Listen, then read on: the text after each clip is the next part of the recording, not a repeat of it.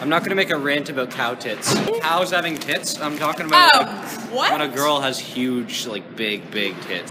Respect the women. Respect what women? I doubt any girls watch our channel. Chewing with his mouth. I'm not gonna. I'm not gonna say what size boobs I prefer, sir. I'm sorry. You've, But you you've go film. gutted enough information out of me about what kind of girl I like. This is why I don't get a girlfriend.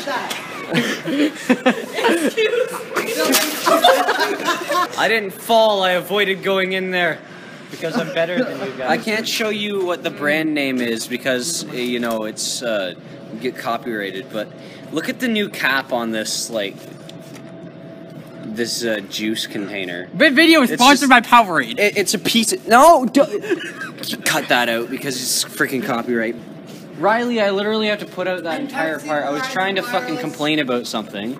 We have to cut that entire part out now because you're being an And asshole. Verizon Wireless. We literally need to cut this all out. Don't forget You might Nike. not even be able to post this shit now. Well, Riley's being a dickhead. Why Germany's would the you not last be one, mean? man. I'll bite your face off. I don't have much to say about things.